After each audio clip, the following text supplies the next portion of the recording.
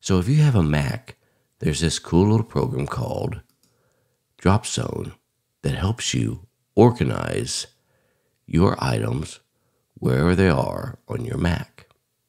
So as you see here, I have Dropzone opened up. It's just a little icon up here.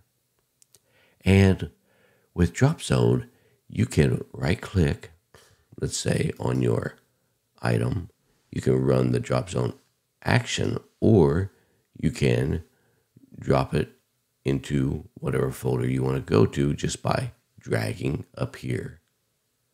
Really simple thing. So let's say, for instance, I want to take this off of my desktop and put it in my Google Drive. All I have to do is right click, run Dropzone action, and click on Google Drive. And there it goes. Conversely, if I want to move it to Google Drive, like I said earlier, I can just drag it to it and drop it. And it's real simple to set up this. All you have to do is to add to grid, select one of their built-in actions, or you can move to files and then select the folder that you want to move files to and then name that folder.